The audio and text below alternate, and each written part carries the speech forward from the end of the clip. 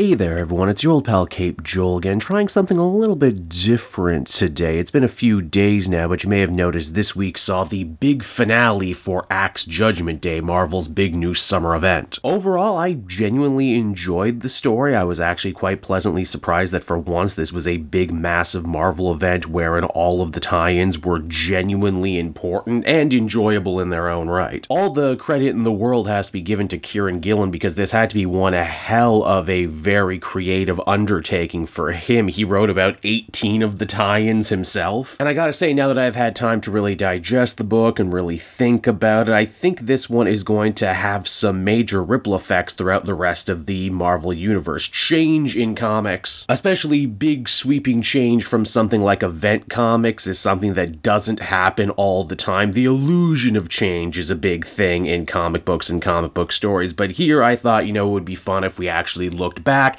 and actually discuss some of the biggest things that came out of Judgment Day and what they might mean going forward. I had asked my followers on Twitter if they had wanted to see me make a video like this, maybe people who wanted to know what was going on in the greater Marvel universe but didn't want to have to sit through, like I said, 18 other videos I did when they could just, you know, watch one. And the whole thing is really serendipitous too because YouTube is prioritizing shorter, more focused content anyway. I know my friend Sal over at Comic Pop has had great success with videos like this. So I thought, hey, you know, let me try my hand at this. At best, people like it, and maybe I'll make it a recurring segment on the channel, and if people don't like it, well, then at least the patrons get something fun and cool first, right? I guess the first big question we should try and answer first is what is Judgment Day? Well, its full title is actually Axe Judgment Day. That's Avengers versus X-Men versus Eternals, and it's a massive summer event that, you know, crossed over all of these different big team series. The inciting incident, of course, involved Druig, the slimy ever villain of the Eternals series of books becoming the brand new Eternal Prime and using this power and authority to start a completely trumped up holy war against the X-Men and their brand new nation of Krakoa. Of course, Druig had no real reason to start this fight, he was only picking it so he could hold on to the power that he just barely managed to grab during the end of the other Kieron Gillen Eternal series, which has been really great in case you've been wondering. I was never a huge Eternal fan, but I like the way Gillen writes it. The big smoking gun that Druig attempt to use to gather other Eternals to his cause is to say that mutantdom is actually not all that different from the deviants that they have been more or less designed to destroy. And I guess, canonically speaking, that is the big first major change we need to discuss here. Genetically speaking, mutants and deviants aren't actually that different. In fact, in the story itself, we saw Kro and the other deviants use Krakoan portals because they can, even though no one else can, unless they're actively being escorted by a mutant. It's implied near the end of the story, too, that Zuras, the guy who's usually always shown to be Eternal Prime, knew that this was the case for hundreds, maybe even millions of years, but actively didn't choose to pursue it because, as far as he saw it, deviants might share a lot with mutants, but mutants never actively exceeded the excessive deviation that him and the other Eternals were created to try and stop. In fact, in the pages of the main Kieron Gillen Eternals book, the implication is that deviants themselves themselves were kind of the Earth and the universe working out superpowered individuals for the first time. This would, of course, explain why Earth in the Marvel Universe is home to so many people with amazing powers, be they mutants, be they radioactive spider people, or gamma hulks. Again, this isn't the first time we've seen this idea played with uh, Jason Aaron in his Avengers book with the first host also seek to imply these ideas, but it's Gillen who kind of crystallizes it. Now, the other big change in this story relates to the topic of mutants and their resurrection protocols. Of course, if you've been reading the Krakoa era, you'll know thanks to the power of the five, mutant kind has basically defeated death as a metaphysical concept. They can die, but because they're backed up in Cerebro and because the five are such powerful mutants, they're basically able to be reborn over and over again. This was a closely guarded national secret of Krakoa that they went to great lengths to try and hide. That is, of course, until uh, the main Gerry Duggan X-Men book, where Ben Urich starts investigating the mutant resurrection protocols and eventually, with the help of Cyclops, outs the secret to the rest of the world. Cyclops, of course, not really seeing eye to eye with Xavier and the Krakoan Council these days. This, of course, makes the rest of humanity really angry and really jealous at the mutants for basically hogging the secret to eternal life, and the big question is will the mutants eventually be forced to share with everyone else? And at the end of the Judgment Day story, they are indeed ultimately forced to share. In fact, Captain America Steve Rogers becomes the very first human who gets resurrected via the Five and the Mutant Resurrection Protocols. Which begs very many, many questions that Judgment Day as a book kind of has to gloss over because it's an event story and they gotta move on to the next thing. Steve isn't a mutant, and as such, he wouldn't have his brain backed up in Cerebro, so the question then becomes what exactly did they use to back him up? Is this still the Steve we know, or has something actually changed with him, either on a mental level or on a physical level? Also, just to spitball and theorize here for a second, I've always personally had the idea in the back of my head that these mutant resurrections can't be nearly as perfect and cost free as they let on, and that it's only a matter of time before they inevitably decide to reset the status quo for the X Men and mutant kind by getting rid of the resurrection protocols, or by revealing that there's some dark secret behind them, which would now end up actually roping in Captain America to it all. I have to wonder if this is a storyline they're going to pursue. Is this something we would see in the X Men book or in Cap's solo book? Especially because there is a lot happening in the Captain America books right now. By the end of the story, too, Steve isn't even the only human who's been resurrected by the X Men. In fact, Jean Grey starts up the brand new Phoenix Institute, a humanitarian group operating independently of Krakoa that sees to try and use the mutants' resurrection protocols to try and help the downtrodden, the ostracized, and the oppressed of humanity. The idea being that they're all hated and feared, much like mutant kind, and as such they should be working together, not against each other. Actually, that sentiment was kind of Magneto's idea, which, speaking of Magneto, he died in this storyline, and as far as I know, he's still dead, and the reason he doesn't get resurrected is because him and Storm were on planet Arakko. Krakoa's Mars colony, in an attempt to try and ingratiate themselves to the more militant and warlike locals, Erik had actually taken himself out of the resurrection protocols. Meaning that when he actually bit it in the big fight with Uranos in the middle part of the Judgment Day event, I think he's actually gonna stay dead, maybe for a little bit. Why would they want to kill off Magneto now of all times? Well, I can't be 100% certain, but if I was a betting man and if I was to theorize, I would say maybe it has something to do with the brand new X Men movie that is no doubt upcoming. There's been a lot of talk about maybe updating and changing the Magneto character as we know it to make it a little bit more topical and a little bit more timely, and so they don't have to explain how a survivor of the Holocaust is still spry and running around in 2022, or probably later by the time that movie comes out. Maybe they want to leave him dead for a little bit so they can justify bringing him back later looking different, maybe doing some colorblind casting. I'm not sure, and again, this is X Men, so he could probably just pop up again in X Men Red a week from now and I'll look stupid. But I thought it was worth bringing up here just because. Speaking of X Men Red and Mars, too, at the end of the story, the celestial progenitor ended up turning back the clock a little bit and undoing most of the damage that was caused during the Judgment Day event, but not all of it. Mars got royally jacked up by Uranos, the great great ancestor of Thanos, who looks a lot like him. Well, actually, Thanos looks like him because that's how relation works, but still. Gillen actually did a lot in that Eternals book to rework Uranos into this big bad boogeyman threat, and I really did think he was going to end up being the true secret villain of Judgment Day, but no, he actually survives the story and is still in prison. In fact, him and Druig end up getting locked up in the same subspace cell at the end of the story, and it's heavily implied that the Eternals, as part of their effort to try and make amends to the X Men for the whole Holy War thing, are going to be giving Druig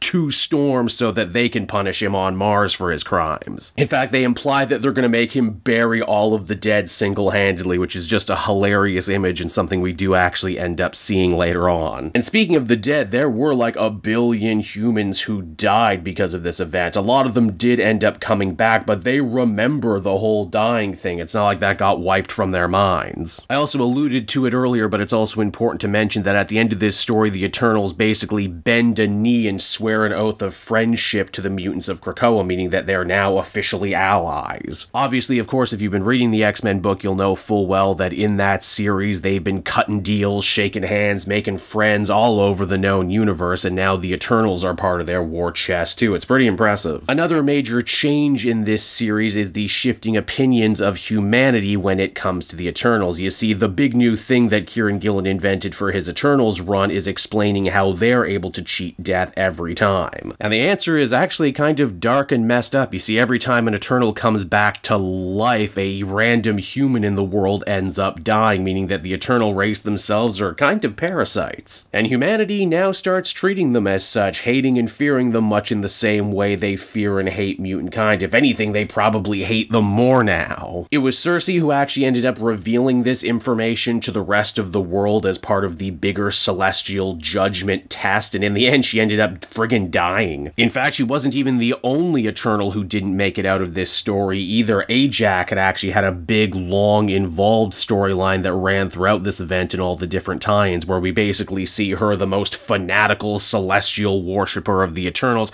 basically have to learn to de-radicalize herself. And in the end, Ajak actually sorta kind of fuses with the celestial progenitor, becoming a brand new being called Ajak Celestia. It's all actually very zen and very cosmic to see Ajak, a character who, you know, while being fanatical to her gods, was also kind of angry at other celestials for not being the god that she wanted them to be, but now here she kind of becomes the god that she always wanted to worship. I feel like this is one of those things that's going to be explored in much more depth over in the Eternals book once that starts back up again. I just think it's very fascinating in this age of multimedia where the comics more and more go out of their way to try and reflect the movies. They actually got rid of both Sersi and Ajax when we know that they were, well, pretty big parts of that Eternals movie. I mean, from a story standpoint, thematically speaking, it all makes perfect sense. You just have to wonder did Kieron Gillen have to fight tooth and nail for that, or is this one of those things they plan to just undo later on? Then there's the Avengers who decide that they're going to keep their current base of operations inside the hollowed out body of what ended up becoming the Celestial Progenitor. They say they plan to do it as a warning to any other rogue space god out there that would attempt to make trouble, which is very funny in and of itself, but I also like they floated around the idea of, hey, should we go back to the mansion maybe? But yeah, geez, it really does feel like a hundred years since the Avengers were back in the mansion, am I right? There's also the matter of Orchis, the major mutant hating syndicate that is a major focus of all the different collected X-Men books right now. They, in what seemed like the final minutes of Earth's existence, actually joined forces with all the other heroes to try and push back the celestial progenitor. And it would seem that because of that and because of shifting opinions on mutant kind and on eternal kind, Orchis actually made out like bandits on this one here and ended up having a great cause to recruit more people. In fact, at the end of the story, we get a really chilling image of a little kid walking around with an Orchis shirt and they have a big Nimrod balloon, which would seek to imply that the toxic Orchis ideology is spreading all over the world now, which is scary for both mutant and eternal kind. Of course, what no one knows is that Orchis is actually secretly run by robots, and they don't actually care about humanity at all, they're just using them as cannon fodder. Because Omega Sentinel is actually a time traveler and she knows full well at the end of all things it's just going to be mutants versus robots to see who will inherit the universe. It also doesn't help too that the Phoenix Institute, while certainly sounding good on paper, also feels like a lot of half measures. Jean even said in the big finale that the mutants of Krakoa are still 100% dedicated to their 10-year plan of trying to bring back as many lost and dead mutants as possible, and that they're really only freeing up 5% of the Five's time to try and bring back humans in need. And because there's always a sinister or even cynical undercurrent to the miracles of Krakoa, they chose to do it for sick children and people in need because they knew full well no one could have a problem with that. Some other minor things that may actually end up being much more important later on, especially in the Eternal book. Uh, Phastos had gone to the machine that is Earth and was forced to restart it, which actually ended up being one of the saddest moments in the entire event because the machine that is Earth was essentially the narrator of the Kieron Gillen Eternal series, and now it's lost its personality and it's back to being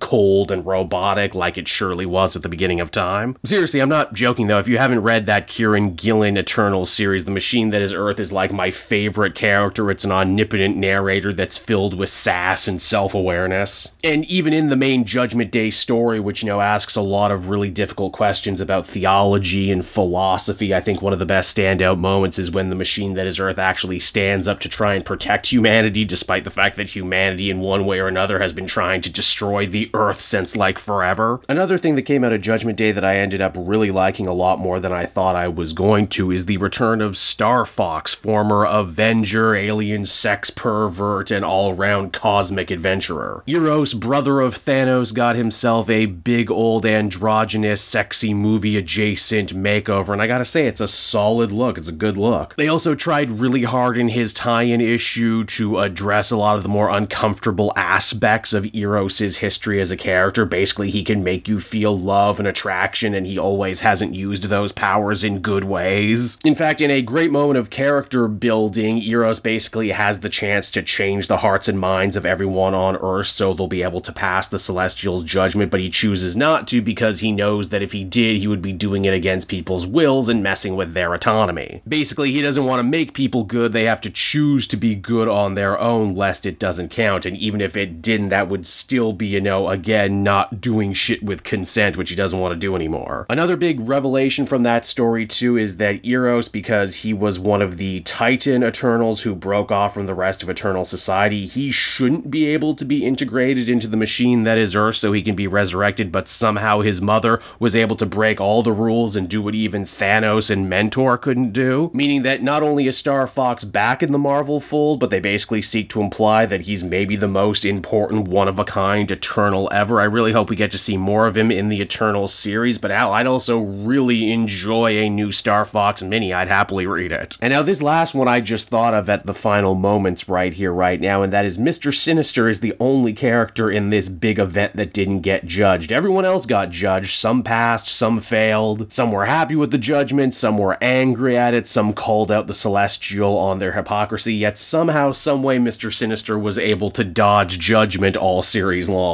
Now, maybe this has something to do with the fact that he's messed with Celestial DNA before, maybe it has something to do with the fact that the next big X-Men event, Sins of Sinister, is going to be focusing on him. I can't say for certain, but it definitely seems like Kieron Gillen is actively trying to raise Mr. Sinister's profile, and it certainly helps a lot that Sinister is a major character over in the Immortal X-Men book that Kieron Gillen is also writing and used as a launch pad for a lot of the stuff that actually went on in Judgment Day. And it seems like that ball is just going to keep on rolling into the future now. It's also important to note that Sinister isn't the only version of himself right now. Orchis has their own Mr. Sinister called Dr. Stasis, who may or may not just be the human parts of Nathaniel Essex running around in another clone body. We do know they're different though, because while our Mr. Sinister has the very traditional red diamond on his forehead that he always had, Dr. Stasis actually has a black club on his head, which if we're going with the playing card motif, does that mean that there's a red heart and spade themed Mr. Sinister running around out there? Maybe they'll be involved in Sins of Sinister. Uh, if I had to bet, that's where I would put my money. And yeah, that's basically the long and short of it, everyone. That was Axe Judgment Day, a Marvel event that I feel actually did end up changing quite a lot.